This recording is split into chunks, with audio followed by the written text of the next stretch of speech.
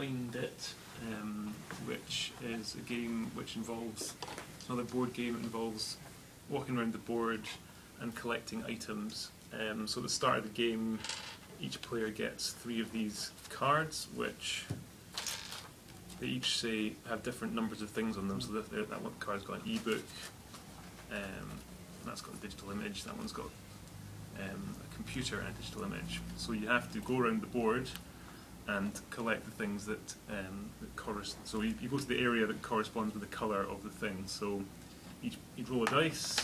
Oh. There's four. So you move your character um, across the board to the colour that you want um, of the item that you want. So I could move this person to that square there. It's a black item, so that corresponds to a, a short loan.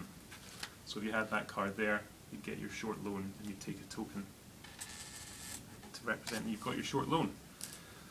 Um, and you basically, yeah, the players kind of take in turns to roll a dice, move around the board, and once you've collected all the things on your three cards, the game ends, and you get a number of points based on the number of items that you had to find. So if these were your three cards, at the end of the game you'd get four points, and the other players, if they hadn't completed their cards, they would lose those number of points. So there's an incentive to be the first person to get all of your items.